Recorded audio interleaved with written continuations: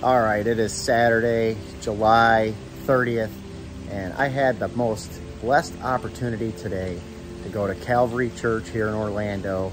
Uh, there was a big Life Surge uh, convention going on. It was a business slash Christian convention, and I got to see Tim Tebow. It's the first time I've ever seen that guy speak publicly, and I love Tebow. He's one of the most amazing guys that's alive on this earth. And I've got a, just a short clip here from what I saw. It's about three minutes long, and it uh, is a great salvation message from Tebow. Um, hopefully someday I'll be able to talk to this guy personally, uh, but it was a huge blessing to be able to meet him. Um, the significance of him is, is just amazing. The guy has the exact same birthday as my son Joseph, born on the same day, exactly 20 years apart. I feel like this guy has a supernatural anointing upon him to be used in a powerful way in these times that we're in. And so you're gonna love this video. Thank you that I got to finally meet this guy. God's never had an oops moment and it didn't start with any of us. So ultimately, why would you ever have confidence if you think, oh, I'm just here by happenstance? Why would you ever have confidence if you're like, man, I, I might just be an accident? Why would you ever have confidence if you're like, man, I don't even like how I was created. I wish I looked like that person. I wish I was taller like that person. I wish I had that ability. You know, sometimes I did too. I'd watch someone else and I'd be like, dang, I wish I could throw like that. I wish I was that fast. I wish I could do that.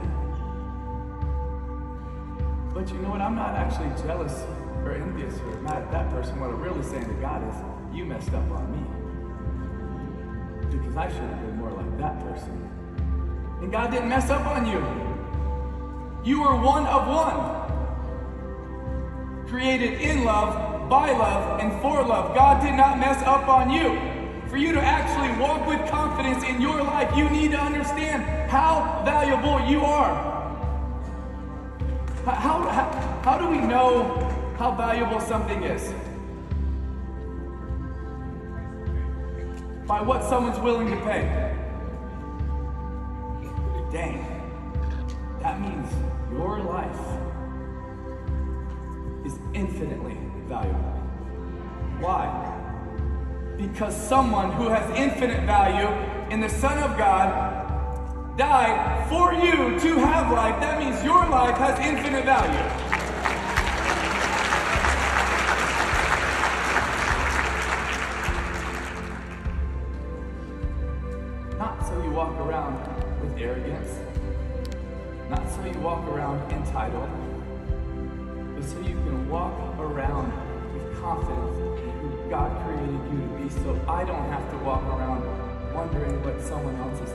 Or if I was someone else, or if I could be someone else, or God, you made a mistake on me. No, because I can be comfortable in who God created me to be. So I don't have to be anybody else. If God wanted me to be like somebody else, He would have made me like somebody else. But He didn't. Made me me. And He didn't make a mistake. And He didn't make a mistake on you. And why does it why does it start with belief? Well, because eventually you're going to have a whole lot of obstacles, trials, tribulations. And by the way, it's not a guess. John 16, 33, Jesus says to the disciples tonight before he goes to the cross in the upper room, for, I, for in me you have peace. But in the world you're going to have trials, tribulation. Take heart, I've overcome the world. So guess what? You're going to have trials and tribulations. Not every business deal is going to go the way you want. Not every relationship is going to go the way you want. Not every day is going to go the way you want. There's going to be trials and tribulations. Guess what? You just realized that. Good. We're going to have adversity. We're going to have obstacles. But we can take part. Why?